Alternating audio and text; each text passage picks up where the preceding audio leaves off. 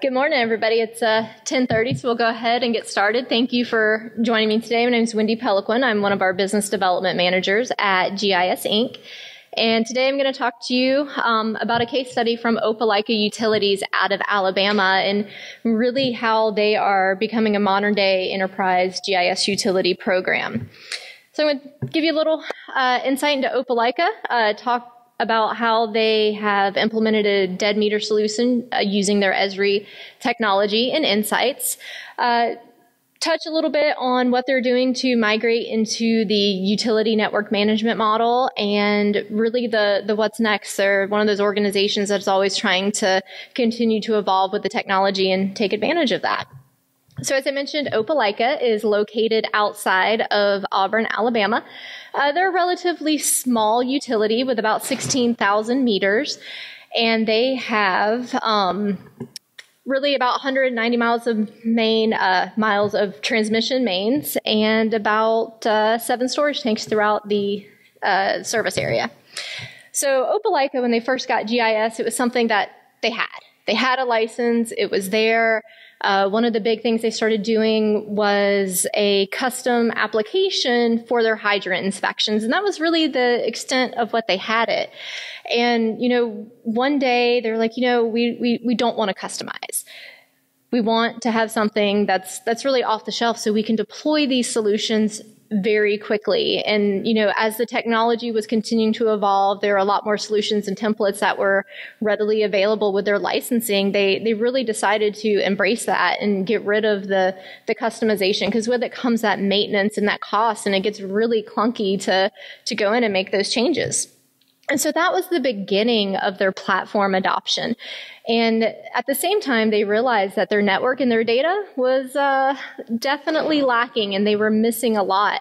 And so they were able to, you know, utilize the ops dashboard to be able to track the data that was being collected, what was being verified. They also implemented mobile data editing with ArcGIS Online out in the field. And that also allowed their crews to have access to those as built drawings while they were out there, which is something they, they didn't have. They'd have to go back, uh, go to the office, pull the paper, look at it. And then one of the other big things was, well, we, we don't want to spend all this time figuring out who's affected. And so they also implemented the utility isolation trace so they could find out which customers, when they had to cut off a valve, um, needed to be notified. But the biggest piece of that was for their customer service. So they weren't just implementing this out with the field crews who were working there. When people were calling, they had a map in ArcGIS Online so their customer service could pull it up and they could see, oh, yep, you know what? They've shut down a valve. The main is broken. The next street over, they're working on it. And that allowed their field crews to, to keep on doing what they were doing. Before, every time customer service got a call, they were calling out in the field field crew's like, yep, yep, we're here, we're on it. And so it just really opened up those lines of communication to, to make them more efficient and, you know, spend less time doing things that they didn't need to be doing. And so that, you know, for a couple of years, like, this is really great, this is really great they started noticing there, there's an issue with dead meters. Meters are always going to die and they knew was, they knew it was bad. They they worked with us to develop a customized script because they wanted to pull that utility billing data and replace them as soon as possible. Because when the meter's not reporting, they're not getting paid, and the script was able to identify a lot of those meters. But about the time that Esri released 10.5, there's this thing called insights and it was really allowing them to, to dig into the data. So the Esri Water team invited them up to Philly to, to really do a, a BI workshop, that business intelligence. And recreate what they were having to do in that customized script because you know as i mentioned the whole theme is let's get away from having to customize having to maintain and make our software and licensing work with us. So when we upgrade when we move to something different we're not having to go back and make a ton of changes and spend a lot of time and money on it. And so in a matter of really hours, we're able to recreate that workflow and process of bringing in that data. So for those of you that are still new to Insights, one of the great benefits is that you can bring in spatial and non-spatial data. So they were able to bring in, if you have your data in your database in GIS, you can connect to it. You can bring in Excel sheets as well. Um, And so from there, it's really for those of you that have used Model Builder in um, ArcGIS Desktop, it's, it's very similar. So you can go in, you can put in your logic, your filters to then create maps, charts, and tables. And so we did this with the utility billing. And so the great thing, obviously, you have to have a facility ID, a connector between the physical assets or the assets that are in your database in GIS, and then the utility billing. And from there, they were able to identify these are the meters that are dead. And for them, what constitutes a dead meter is one that's reporting zero over multiple months or reporting the same reading. And before they went to the customized script part, there was um, one of the people in their office would print a spreadsheet once a month and spend about eight hours manually going through, highlighting line by line which ones may be dead. Then they were looking it up, putting it in the system. And now this is something they go in, they run a button once a month, it refreshes the data, and they have the meters that are identified. And from there, they actually found out that about 20% of uh, the meters that they had in their system were showing up in that list.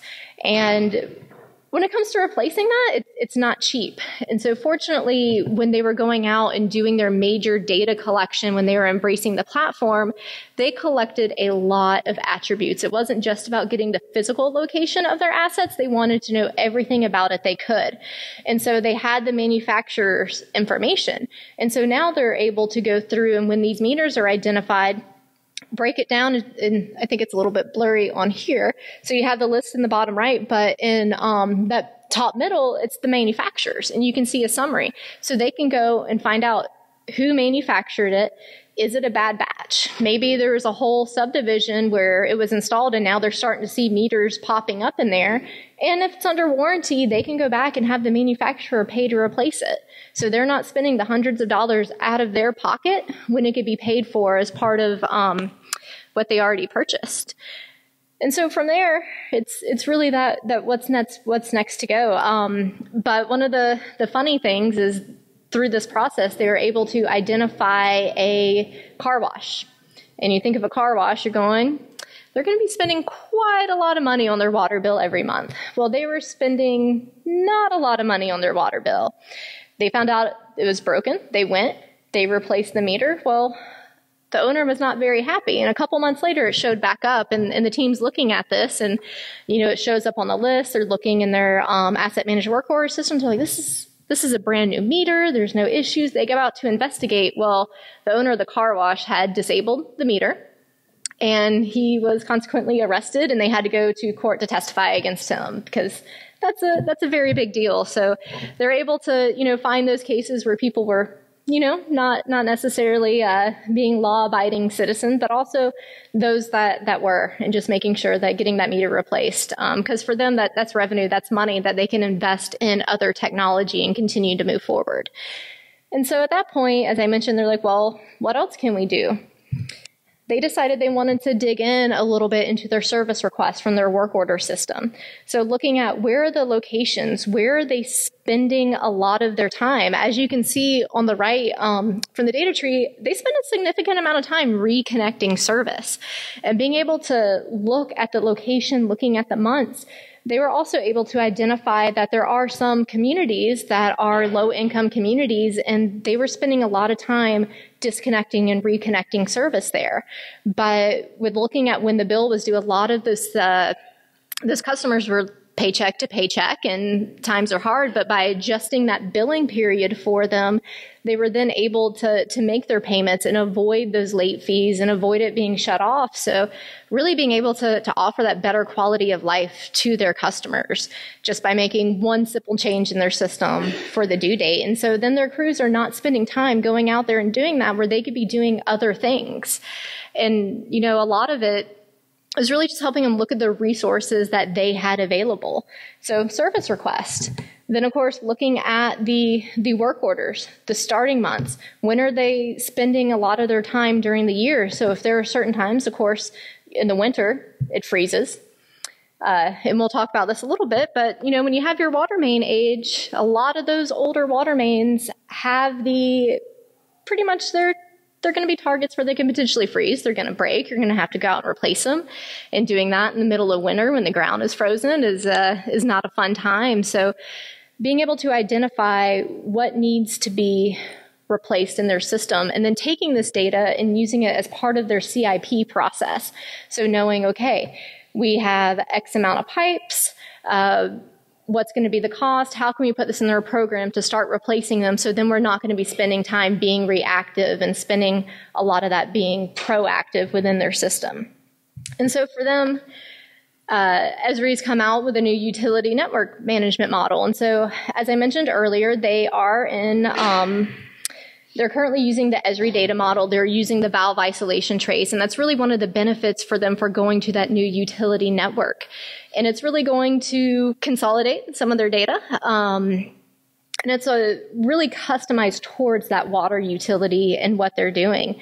And it was also an opportunity for them to, to look at their infrastructure and their environment. And so what they did is they stood up a new testing environment, and that's where they're really working on doing that, that data migration into the new utility network. Um, as they're already in the uh, Esri data model, it made it a much smoother transition for them. Uh, you don't have to be in the data model to go to the network, and but it was also that, that time to get to play with to play with Pro. We all know that Esri's moving away from desktop. Uh, it's, it's, it's going to be going away. Um, the geometric network is going to no longer be supported in, I believe it's 2024 and, or yeah, I think it's 2024. And so they're wanting to, to get ahead of the game, but they're not ready to make that big leap. Uh, we know anytime new technology and software, just because you want to embrace it and you want to move forward, you need to do a lot of testing. Uh, they've been working directly with Esri on a lot of the, the bugs that they have found. They, they exist, they're out there, and, and it's actually really encouraged by them to report those and help make that system better. So they, they've taken a lot of pride in, you know, being one of the first utilities, you know, really embracing it moving forward and, and helping to, to really make it better for everybody else within the industry. And so in that testing environment, it's also giving them that opportunity to, to learn pro and get comfortable with it before they switch to their production environment and no longer utilize desktop. And it's also giving them, with continuing to move further into that web GIS deployment, analyzing who who has desktop who's using it. Do they even need to use pro? Can we give them a web map where if they're doing very simple searches they need to view the data or they're only editing a simple thing? Well we don't have to spend 8 10 hours 16 hours training them in pro. We can give them the web map and they can easily go in and they can do it. We no longer have to have desktop installed. But for those that are going to be using Pro, it gives them the time to go in to play, learn how to edit their data in that new network get comfortable with it. So when they do go live to production, it's going to be seamless. They're not going to have this downtime. They're not going to be making um, these errors. They're going to be comfortable. But another big thing, that testing environment, they have integration. So they are also um, CityWorks users for their work order management system. Uh, they are tapping in a lot to their utility billing. And anytime it comes to changing that data, well, for them, CityWorks, it, it, runs off their services from their database.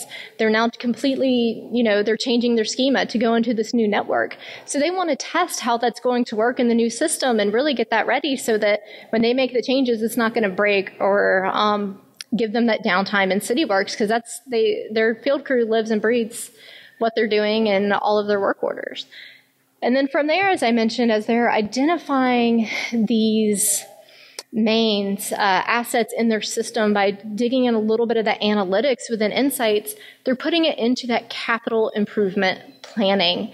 And before you know i think the theme of the day is a lot of what they were doing were starting with spreadsheets. Uh, a lot of traditional cost estimation for them it, it's a very tabular process. They're going through uh, getting how many uh, feet of the pipes, how many certain assets, giving that to an engineering firm that they're consulting with. It could take them a while to, to get that data and bring it back. Um, the, group that they work with does use RSMeans, uh, which is one of the really leading cost estimation um, companies out there. And they've, you know, really for over 75 years, they've been doing this and they update their data quarterly. It's uh, localized to the three digit zip code. So you can, you know, really get about 80% of the way there with the estimates. And, and that's what they want. And there's a lot of times where they didn't have those two weeks to wait for you know, the company they're working with to go back. And with it being that tabular process, sometimes it's okay, well, where was this? Where was this pipe? What project area are we looking at? And so within that database, it, it breaks things up between their material, labor, and equipment to get that total cost. And even, you know, as I mentioned, taking a long time with it being online using that software. And so uh, they started looking at a cost map. So RS Means has started to uh, partner with GIS Inc. And, and, we help take that tabular data into the mapping format. So now they can do all of their cost estimation directly from a map. And Opelika was a big part of that. They're like, you know, this is something really cool and interesting. We already have the infrastructure, the platform, our data is in the data model they wanted to be part of it because they're wanting to find quicker ways to be able to do their job. And so uh, this is a screenshot real quick, and I'll uh, go to a demo in a second. But really being able to to have that picture where you can go in and select the uh, assets and get those costs. So see if I can get it.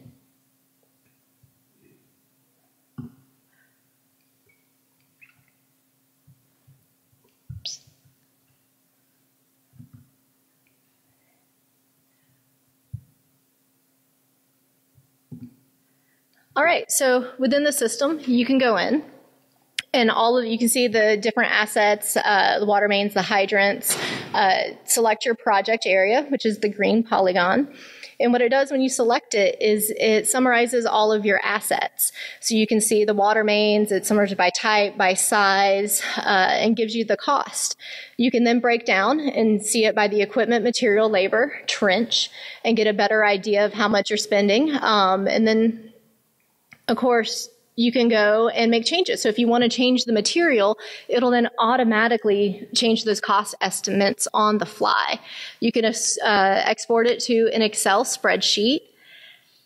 And then you can also go in and view that. And because, like I said, it'll get you about 80% there. So if there's any locality factors or you know, okay, well, we know there's about a 5% difference, you can go in, um, do that, but also put it in your other systems that you need to to continue to move uh, your estimates along the way. You can also go in and, and, draw. And so with that, you can select certain assets to get those cost estimations so you don't have to have those predefined project areas in there. And you can go in and if you select that, add those assets to it. It'll automatically then um, update the cost based on that summary. So if you say, yep, this is good, we want to look at it, but what if we added these other ones? You can deselect assets, so even the ones that you select within a group, you can go through, take it out, and all of this is dynamically updating those costs. And then you can also set that. So you can get break it down by are you putting in new assets, are you replacing, or are you repairing those assets? And as I mentioned, you know, you can put in a little bit of that percentage for uh, the cost estimation. You can also go in and uh, draw your own assets. So as you're looking at it, if there's an emergency, something coming up, you need to get that quick cost, you can, um, oops, this is on here. Uh, you can go in and, and dynamically draw that and within seconds, you know, it was taking them two weeks to go in and get an answer you know, drawing it, something but by the time they log in, they zoom to the area, they draw it in five minutes, they now have that cost. And so when they're in meetings, um, if the board wants to know, okay, well, what's this uh, project? What are we doing? That allows them to go through that quickly. So, oops, hmm, it's no longer duplicating my screen. So I'll just pull this over here. So, so really the part for that was the ROI time they're now able to incorporate this into their budgeting. And so they're getting an idea of, you know, not just, okay, well, here's the assets. Where are they located? Can they combine some of these and make it one overall project for a particular area? It's also, you know, really allowing them to negotiate their bond ratings. Better data gives them more confidence in what they're doing, which will allow them to get better interest rates.